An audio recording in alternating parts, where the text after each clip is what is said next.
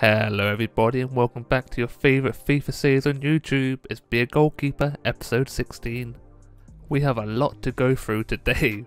So, we won the league last episode, we won the Papa John's trophy as well, and now we're just going to go through the last six games of the season, which I didn't play because I didn't think they were worth it, mainly because we're not playing for anything. So I just sim my way through all of them just to get through a bit quicker, you know. I'm looking forward to the new season. Put in my transfer request, which they denied straight away, which I was kind of disappointed at. But I do not give up that easily, and we put in a few more before they finally accept it later on in the episode.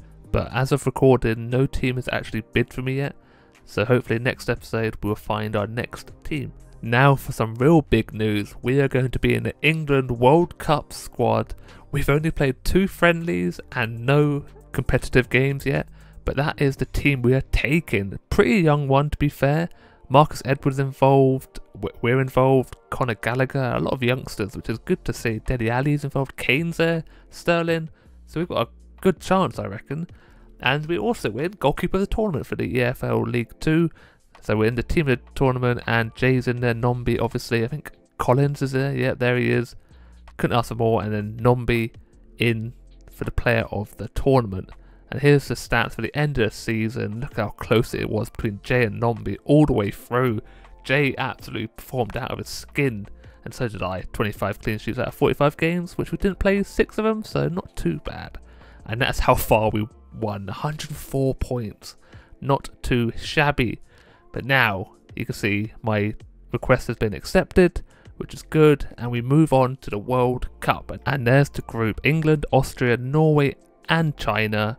We have a decent opportunity to get through this group. First game against Norway, Kane and Foden linking up one twosies, and check out the scissor kick from Foden. Absolutely disgusting, you know.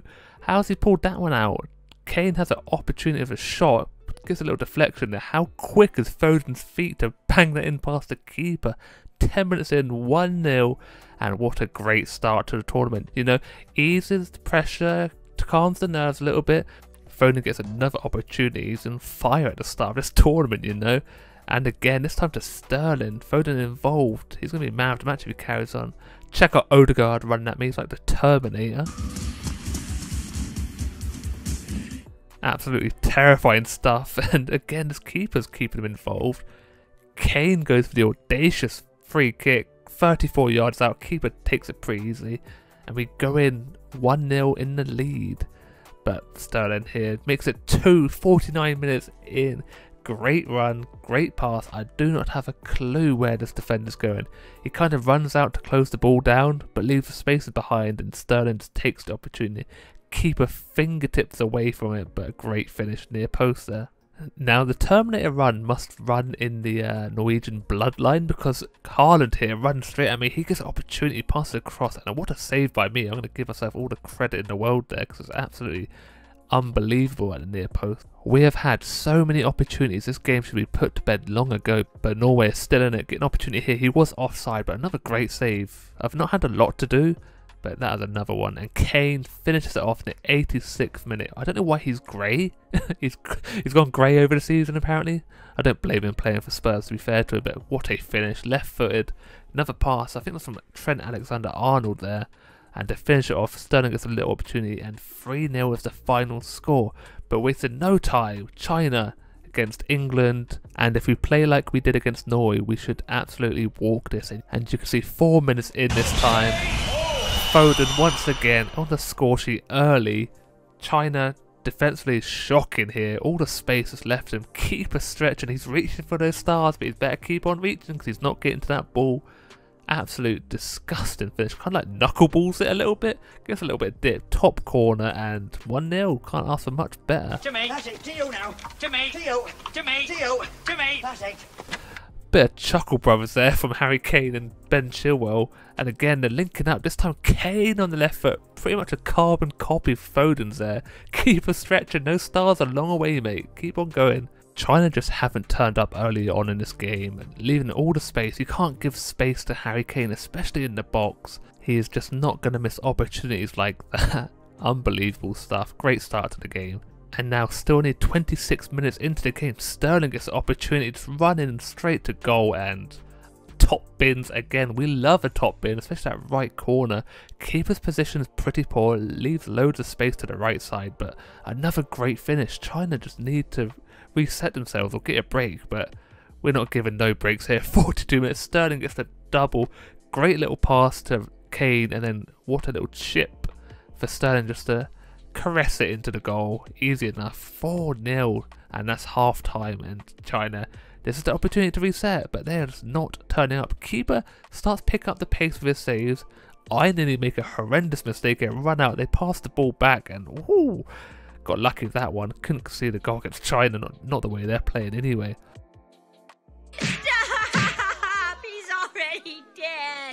Even the subs aren't wasting no time getting up to speed. Ollie Watkins coming on, could be his first touch, but what a strike again. Keeper's all over the place diving. I don't know what rating he is, but he's pretty poor. So 5 0. Just end it now, ref. Foden again going for an acrobatic. I don't know how he's missed that one.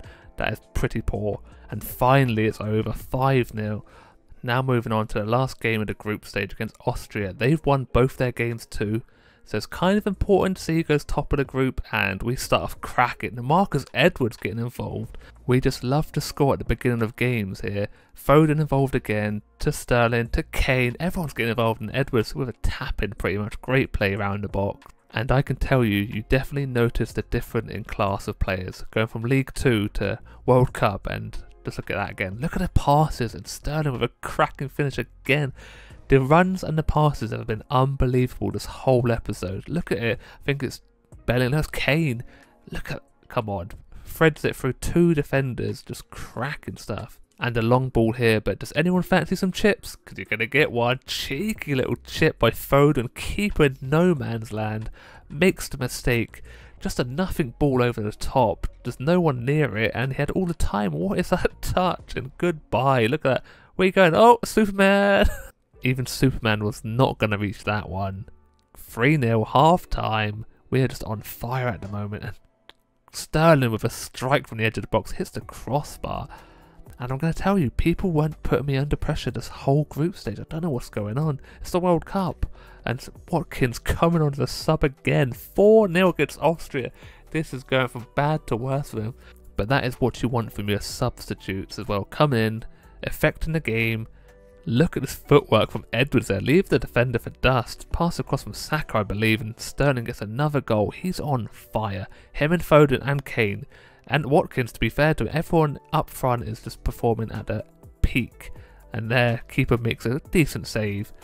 And again, I think Kalvin Phillips, cheeky little like half volley, but 5 0 again, back to back, final one with 9 points and no goals conceded.